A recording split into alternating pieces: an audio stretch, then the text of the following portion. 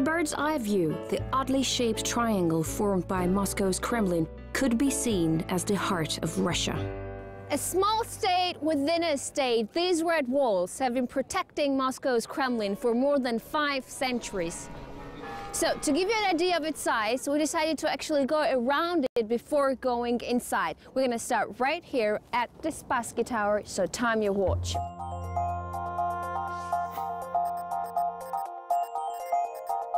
The extent of the Kremlin walls is over two kilometers, and if you want to go around it, you better go real fast because the winters in Russia are really cold. It's minus 10 today.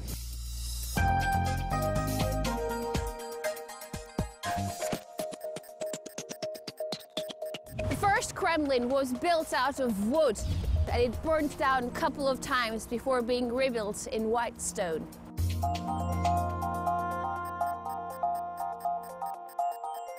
300 years later, the walls and the towers were faced off with the famous red brick. But if you actually pulled away the red brick, you would see a wall as white as a bridal gown. And some of these walls are almost six meters thick. Right here on the red square was a deep moat filled with water. And together with the ring of 20 towers, it made the Kremlin an inaccessible fortress known around the world.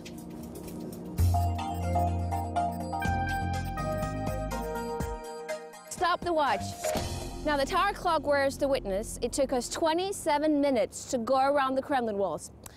But what about what's behind them?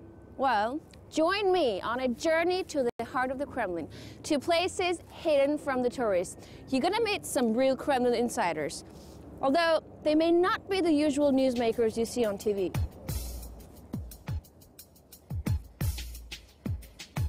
So now you're gonna meet a true Kremlin scholar. This man is practically saturated with Kremlin history. Sergei Devyatov. Good day. And finally, we meet. Good to see you, sir. The Spassky Gate is the major passage into the Kremlin, and traditionally it has always been open for arriving visitors during the day since the time of Ivan the Terrible. Tsars and emperors used it when visiting Moscow. Anyone entering the gates had to take off their hat to honor the savior of Smolensk, whose image can be seen above the gate. Entering the gate on horseback was forbidden. Legend has it that when Napoleon passed through the gate in occupied Moscow in 1812, the wind tore his famous bicorn from his head in front of the savior. In 1945, hero of the Soviet Union, Marshal Georgy Zhukov broke both rules in one moment. He entered Red Square through Spassky Gate to receive the first Victory Day parade on horseback and wearing his service cap.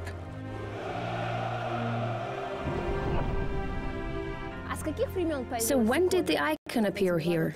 The icon has been here since the 16th century, but disappeared during the Soviet era.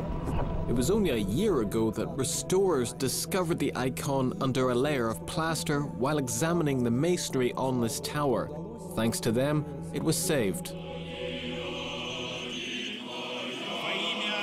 In the name of the Father, and the Son, and the Holy Spirit. Amen. The Spassky Gate was open for passage until the late 90s, but motor transport to and from the Kremlin disturbed tourists walking along Red Square and the Kremlin walls. And with the new millennium came the decision to close the gate. Now it opens only on special occasions during the 9th of May Victory Day parade, for example, or on Inauguration Day to receive the presidential motorcade. The only other visitor to pass through the gate is a giant Christmas tree put up for the New Year celebrations. Could you lead me through those gates? No, but we can enter the Kremlin through the private entrance. A secret entrance for a closed circle is just around the corner. It was very easy to get inside the Kremlin together with you. As for me, I've always wanted to get to the Kremlin clock and especially to the bells. As a child, I always stood outside looking at the clock, and I thought a magician lived there who managed the clock. And also, when the bells rang, I was simply rooted to the ground. Can I get inside? Yes, but you're not dressed warmly enough. There's a strong wind up there and it is very cold. I think you'll have to put on something warmer. The Spasskaya Tower was the heart of the Kremlin's defensive line. It was anticipated that any offensive would come from the southeast and that the tower would be the first attacked. As a result, Spasskaya housed rifle and artillery units. In the mid 17th century, Spasskaya Tower was the first to bear the two headed eagle emblem of Russia. During Soviet times, they were all with rubby five pointed stars. But the tower's true gem is its chimes. Its clock face has a 6 meters diameter. The rim, numerals, and clock hands are all gold plated. A total of 28 kilograms of gold is needed just to coat them. We're inside the Spassky Tower right now, and we're gonna meet a true tower wizard. Sergei Nazarov knows all about how to keep time in this tower. Hello, Sofiko. Hello, so good to meet you. So when did the clock appear in the tower? The chimes we see today have been here since 1852. But clocks appeared on the Spasskaya Tower during the time of Tsar Mikhail Romanov. Let me tell you more about them at the top. All right, I'm following you. To reach the clock, one has to climb nine floors of spiral stairs. Here the clock gears turn steadily, waking every 15 minutes to signal the bells to strike every quarter hour, or one big hit on the hour's end.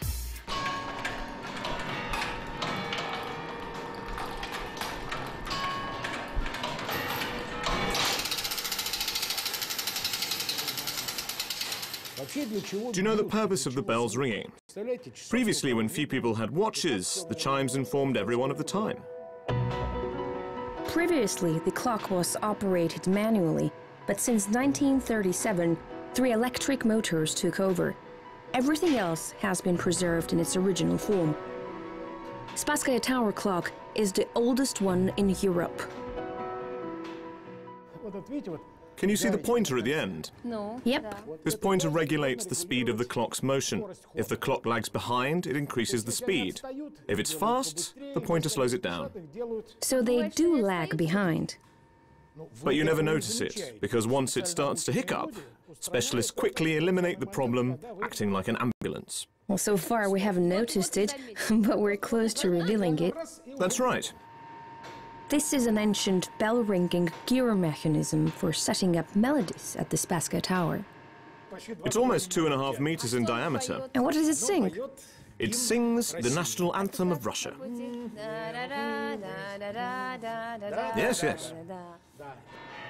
The bells strike the melody of Russia's national anthem every six hours. Cables run from the geared drum below to the very top where the bells chime in the bell tower. Whoa, here are the bells. Yes, Sofiko, we're in the bell tower. If you look up, you'll see it still has a wooden ceiling. 48 bells hang here in imperial times, but were lost during the Soviet era. Today, the chimes sing the Russian anthem with 10 bells and a few metal beats. Up here at 10 stories of the ground, it's always very windy. We gotta go now because the main bell is gonna start ringing and we are risking of becoming deaf. And also it's very cold, so we're getting out of here. Over.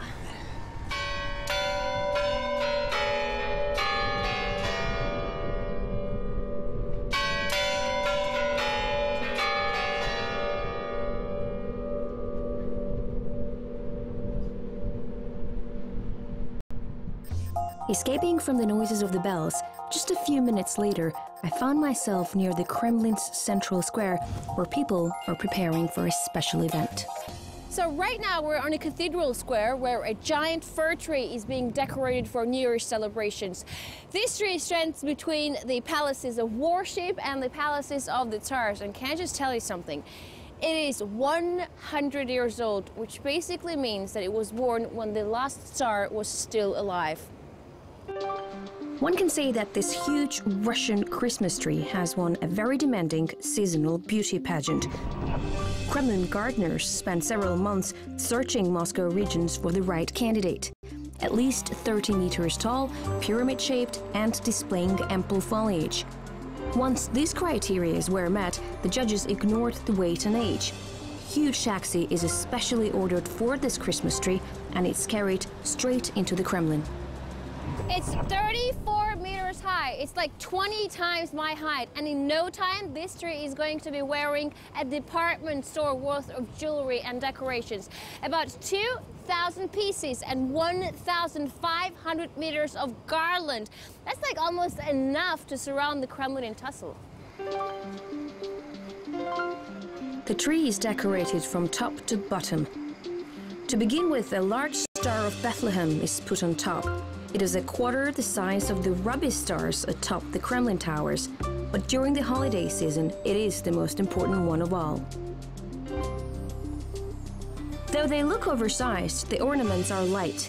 Kremlin old-timers believe that if you have a chance to hang at least one piece onto the tree and make a wish, it is bound to come true. So now we're going to talk to Sergei Nikolaevich, who's like the main decorator of this Kremlin New Year tree. Um, I wonder how long he's been doing this for.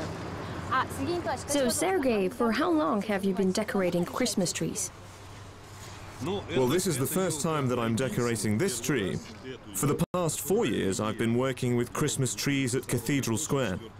So who decides how to decorate the Christmas tree? A design project is drawn up to clearly define how to hang all these decorations. By the way, the total weight of the decorated Christmas tree is 30 tons and 400 kilos. Well, if the size of the tree is any indicator, the presents under it also promise much.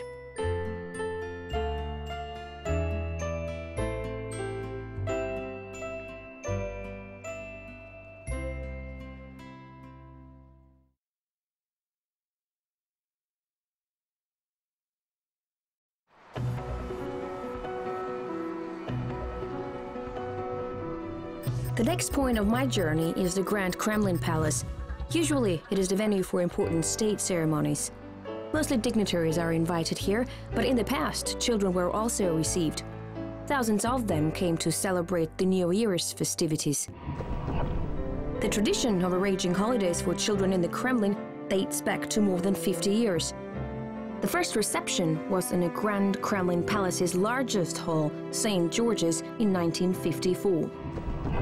Back then, the giant Christmas tree was dragged directly up the stairs, through the front door, without much thought for the ancient interior. Over 60 meters deep, St. George's Hall is the size of a football pitch.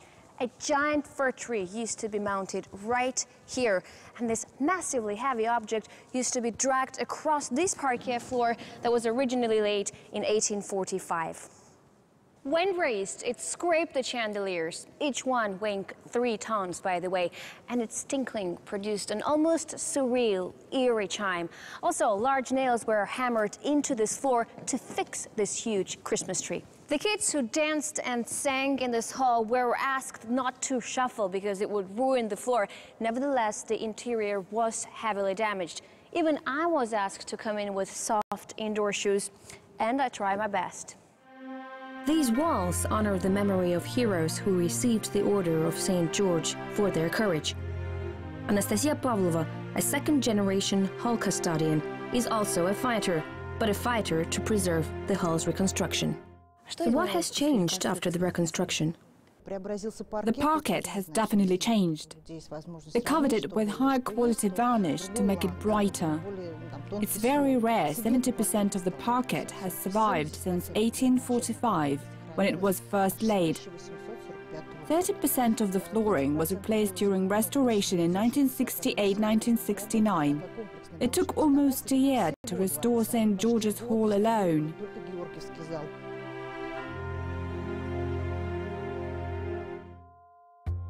Children's parties were moved to a new building in the early 60s, the Kremlin Palace of Congresses, built under Khrushchev.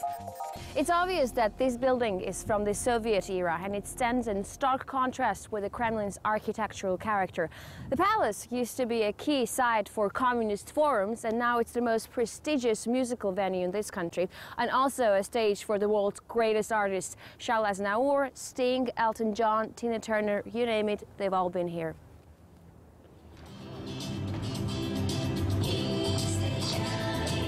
Right now, rehearsals are underway in the State Kremlin Palace for a New Year's performance for thousands of kids. Inside, we have an appointment with a Kremlin old-timer. Children's writer Alexander Kurlyandsky scripted the very first Soviet children's New Year party in 1954. I think we've broken the Soviet tradition of staging performances here at the Kremlin. Before that, a boat would fire a shot. The tree would light up, then kids would be shown a play with a revolutionary theme. Then I changed the plot. It was about a boy tired of his current situation, so in the story, he's sent into a different time. On one occasion, when I came to the New Year party, there was no carpet on the floor. I asked where it had gone. It turned out that during the show, some of the children had wet themselves on the carpet out of fear. It had to be washed and hung out to dry afterwards. Nowadays, the New Year performances are more predictable, but still very colorful, nevertheless.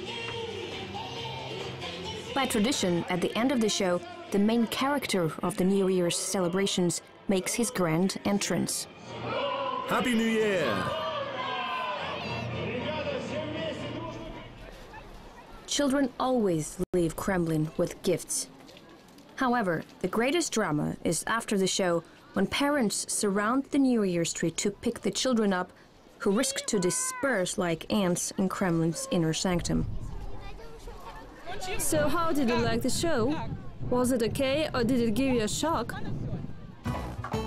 Alright, so now it's about time to find out where one can eat in here. The Kremlin kitchen is not far, on the fifth floor of the State Kremlin Palace, and we're on our way to meet with a young Kremlin chef, Nicolas Haute. Hi. Hello. Sophie. Nicholas, nice to meet you. So you're the new chef everyone's talking about? Yes, I am. What's here? So this is the cold section where we prepare mostly all the appetizers, all the fruit plates, all the vegetables. I can show you more. Sure, let's go. What's over there? This is our hot section. Uh, Yeah. That's where we obviously prepare all hot. our soups, our main course. When everybody's here, it's 35 people at one time. So you're the chef and you have 35 employees. Yes, Are they scared of you? little bit. Yeah. so this is where all the sugar sins take place, yes, huh? where we bake all our sweet goods.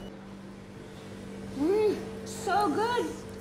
And I want to show you where I have the privilege to work. We have a beautiful view of Moscow and landscape. But usually you told me the kitchens are in a basement. Nicolas promised me to teach how to cook one of President Medvedev's favorite dishes. And I wanted to make uh, some kind of pelmeni with a European touch. I work with Russian product and make it kind of French style. It's For the stuffing, crab meat is mixed with vegetables and salad greens. Then it is put onto thinly rolled circles of dough. Shaping them by hands is real art. I don't think I'm doing a very good job closing it. Recent Russian presidents prefer healthy food and smaller portions. The Kremlin chef admits that Dmitry Medvedev is very fond of fish and seafood. For example, lobster salad. Vladimir Putin also prefers fish over meat. In the kitchen, they told us that he loves unsophisticated dishes like bread with herring, never refuses local delicacies on a business trips. So when someone in the countryside treats him with pickled cucumbers, also a traditional Russian delicacy, his security officers break into a cold sweat. As a rule, all meals are very carefully checked before it reaches the presidential mouth. So what do you do when you prepare for the president? You have like secret service guys and like Well, uh, lab people with their lab goggles x-raying your food? It's uh, not that complicated. They come and take uh, samples of all our products to run just some basic analysis Right. and make sure that nothing is uh, bad or poisonous for our VIP people. Alcohol is served only on festive occasions. Putin and Medvedev drink little on holidays. They prefer beer and wine. Boris Yeltsin was a lover of liquors, vodka and cognac. Secretary of State of the Soviet Union Nikita Khrushchev personally promoted vodka at international receptions. Thanks to him, vodka exports skyrocketed. We've prepared cream sauce with Parmesan cheese to go with ravioli. I guess I can say that I can fit the president now. Are you gonna have some? It's all yours. Mmm. I want to live in Kremlin. This is so good. After lunch, a nap is in order, perhaps in Tsar's bedroom. But I decided first to acquaint myself with those who watch over the peace and quiet in the Kremlin. A whole regiment of young soldiers live here, guarding the Kremlin and the president. Bayonets! The presidential regiment is rehearsing a performance with weapons. Denis and Klim are not only soldiers, but also honor guards. They protect the tomb of the unknown soldier at the eternal flame. Can you please show me some special tricks? I can teach you if you want. All right, let's do it. The prep command is unfold the bayonet. Let me show you. Then up to the shoulder, then to the foot. Hold the carbine with your right hand. Not gonna cut myself, am I? You won't cut yourself. Unfold it. Almost. Now shoulder the weapon. Lift it up. Hold it with your left. I'm holding it. Be careful, it should not lean on the left shoulder. This is the position in which we start the honor guard. Young men between 18 and 20 are selected across the country for the presidential regiment.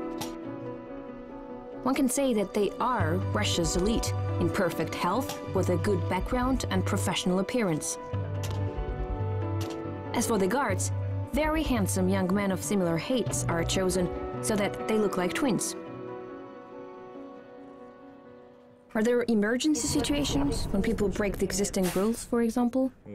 If people step over the chain, we warn them with this kind of signal. Tapping the rifle on the ground. The public immediately understands what this noise means and don't go any further. The most frequent violators of the rules are young girls. They always try to flirt with the guards. But this is to no avail. The guards are not allowed to move, never mind smile. So here's your signature move. What is about?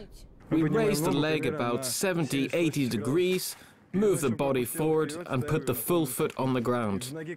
This makes the foot you step with bend a little. And quick march. You're doing it well. You could join our company in a couple of months. To the right. It's time for the guys to prepare for the changing of the guard, but I couldn't miss a chance to take a look at their uniform wardrobe.